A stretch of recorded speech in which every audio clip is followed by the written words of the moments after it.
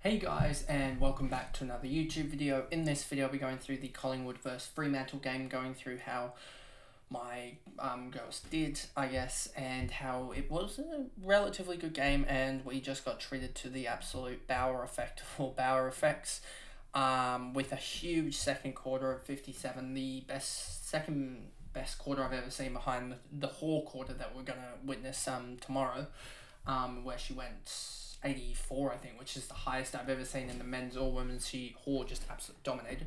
But anyway, talking about Bowers, she dominated in the second with a 57 to be on half time at, um, I believe it was 85 at half time. So yeah, she went nuts, ended up with a 137. But before we get into the video, remember to like and subscribe, turn the notification bell on so you know when I upload, and let's get into the video. So as you can see here, um, let's make this just a little bit bigger so you guys can see. I hope that helps a little bit.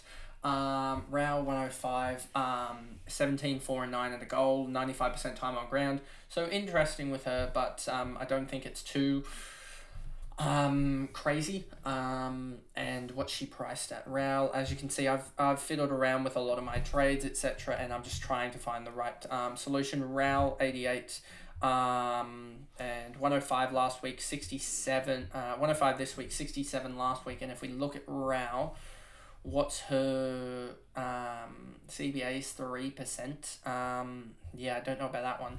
7% CBAs overall. Um, time on ground, 95 and 100. Um, did she kick any goals or anything? What is, um, she's playing a wing role.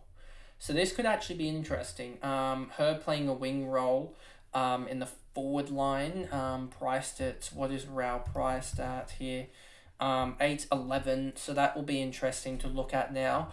Um, she could be a good one to actually look at um, if we go back to the uh, main screen here. But yeah, so she ended up with a 105, a 16, one mark, uh, one handball, four, four marks, nine tackles. Uh, Bonchi, or however you, Bonnici, um, th- 20 touches, uh, 3 marks, 11 tackles, 103. And Davey, 19 touches, 3 marks, 10 tackles for a 98. And then you have Sheridan here on an um, 88. If I actually I could do this, and then it would just show all the um, top scorers and sort of line up with what I'm doing on the DFS.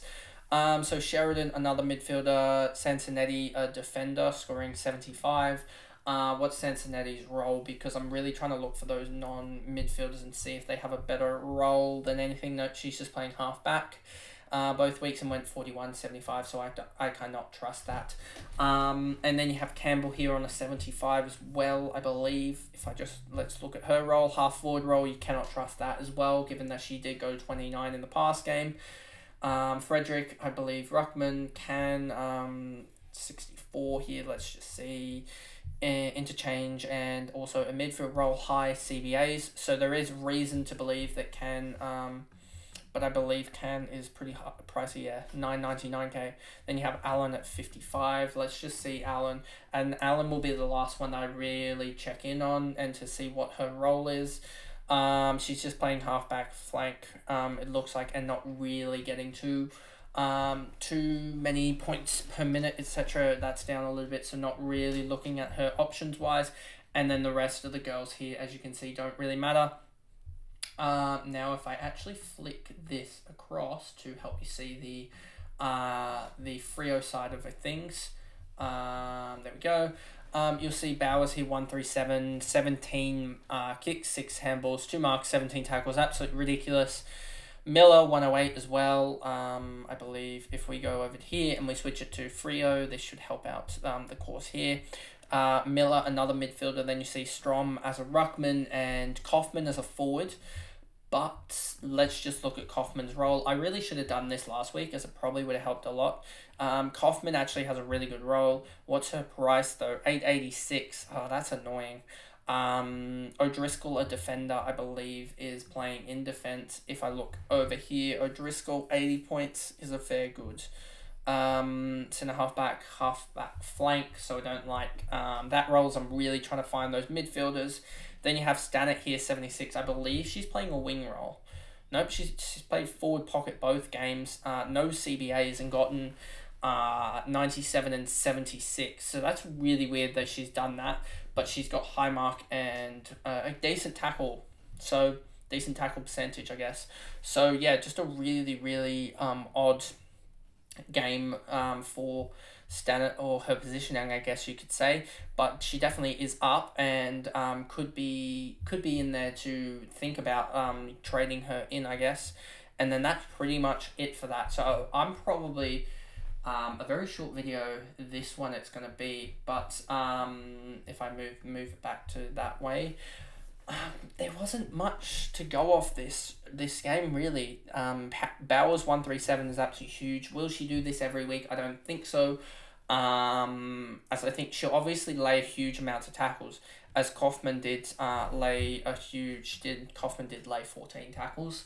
Just looking at this, and what did she lay last week? She laid twelve. Um, and she usually lays high tackles. So, um, and she did get eight and three.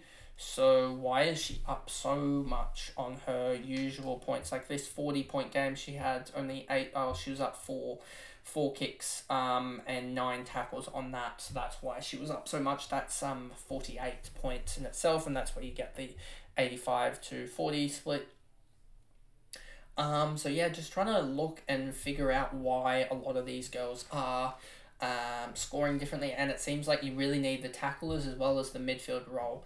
So yeah, I missed that with um, trading out Smith late. That was a bad miss by me as well, as that would have really helped her. Cash gem would have really helped, but uh, yeah, just a um, this one was an odd game, and um, ended up being really actually high scoring, but um, can't really see anyone that I'd really like to necessarily pick up.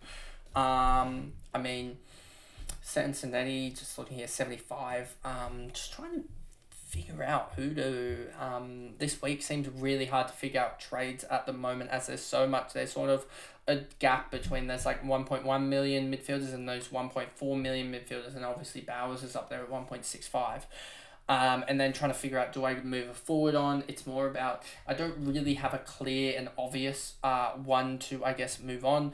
Um, I would like to move on one of the um, midfielders, and I would like to move upgrade my ruck. But then again, it's like you don't. I don't have enough cash in the bank to uh, do two positions there without really ultimately downgrading a position.